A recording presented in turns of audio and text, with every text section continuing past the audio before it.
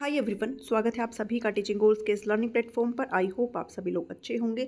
एक अपडेट है यहाँ पर टीजीटी के जितने भी कैंडिडेट जिन्होंने फॉर्म भरा था सात हज़ार चार सौ इकहत्तर पदों के लिए जिन्होंने भी यहाँ पर अप्लाई किया था और जो भी वेट कर रहे थे कि भी आपका रिज़ल्ट आने वाला है, उनके लिए थोड़ा सा एक बैड न्यूज़ है ये थोड़ी सी तो क्या काफ़ी बैड न्यूज़ है।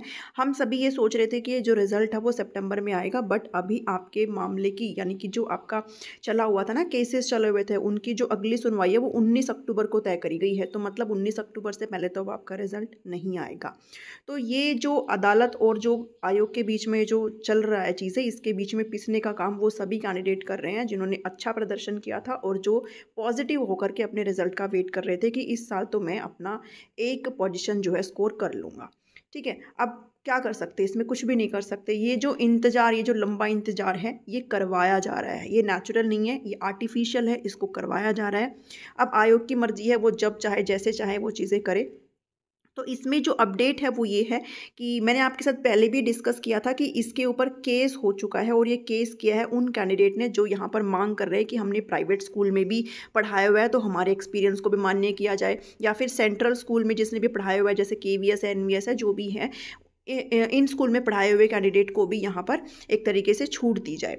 बट यहाँ पर जो आयोग है, एचएसएससी ने सीधे ही एलिजिबिलिटी के अंदर ही अच्छे से मेंशन कर रखा है कि सिर्फ़ उन लोगों को ही ये बेनिफिट मिलेगा जो हरियाणा के सरकारी स्कूलों में एक अपना एक्सपीरियंस लेके बैठे हैं। तो ना तो आपका प्राइवेट का मान्य किया जाएगा, ना ही आपका सेंट्रल का ही नहीं किया जा रहा तो प्राइवेट का कैसे मान्य कर दिया जाएगा, ये तो सोचने वाली बात है। तो केस हुए हैं तो ऑब्वियस ही बात है, अब उनको एंटरटेन किया जा रहा है केसेस चल रहे हैं तो इस चक्कर में ये जो सुनवाई आपकी हुई है, कल जो आपकी सुनवाई हुई थी, उसके अंदर क्या हुआ है, वो आपको अभी मैं बता रही हूँ।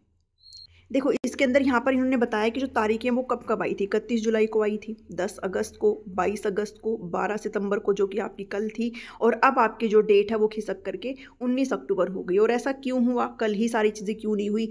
बिकॉज़ ये जो केस लगा था कि भाई हमें ये जो हमारा एक्सपीरियंस है, इसे काउंट इसे जो है काउंट किया जाए तो इसके चक्कर में अदालत ने मांगा था जवाब आयोग से, और आयोग ने इस चीज़ का जवाब दिया भी कल बट यहाँ पर आपको समझना होगा कि जवाब जो दाखिल करने के दो तरीके होते हैं। एक तो आप रजिस्ट्री रजिस्ट्री में दाखिल करवाएँ और एक आप सीधे भी जज के सामने खड़े होकर बता सकते हो, आप सीधे जवाब भी दे सकते हो। तो आयोग ने सीधे जवाब वहाँ पर दिया तो कोर्ट ने कहा कि भैया आप रजिस्ट्री करवाइए, ठीक है? आप रजिस्ट्री में सारी चीज़ें दाखिल करवाइए और आपको नेक्स्ट डेट यहाँ पर दे दी गई कि आपकी जो अगली डेट है वो कौन सी है?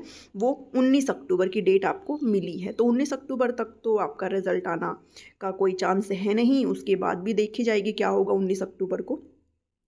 तो टीचर्स की तो बहुत सारी कमी स्कूल्स में आई हुई है, इसमें तो कोई भी दो राय नहीं है और अच्छा होगा अगर जल्दी से जल्दी सबको यहाँ पर ज्वाइनिंग मिल जाए, अगर सबको स्कूल अलॉट हो जाए तो एक नौकरी, एक उम्मीदवार की भी पक्की हो जाती है और कहीं ना कहीं जो स्कूल में बच्चे पढ़ रहे हैं, उनके लिए भी टीचर्स अवेलेबल हो जाएँगे। अगर पूछा जा, पूछा गया उनसे कि क्या आयोग ने या फिर एचएसएससी ने अपना स्टैंड चेंज किया है इस मामले में तो आयोग ने अभी भी अपना कोई भी स्टैंड चेंज नहीं किया है। आयोग अभी भी यही कह रहा है कि हम सिर्फ़ और सिर्फ़ हरियाणा के गवर्नमेंट स्कूल्स का ही जो एक्सपीरियंस है, उसको मान्य करेंगे। इसके अलावा हम कोई भी एक्सपीरियंस मान्य नहीं करेंगे। अब 19 अक्टूबर को देखा जाएगा क्या होगा। जो भी अपडेट आएगी, आपके साथ ज़रूर शेयर करी जाएगी।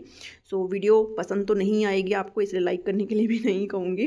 ठीक है? शेयर करिए ताकि सभी को पता चल जाए। चैनल को सब्सक्राइब कर लीजिए। अगर नहीं किया है तो मिलती हूँ नेक्स्ट वीडियो में। Thank you thanks for watching me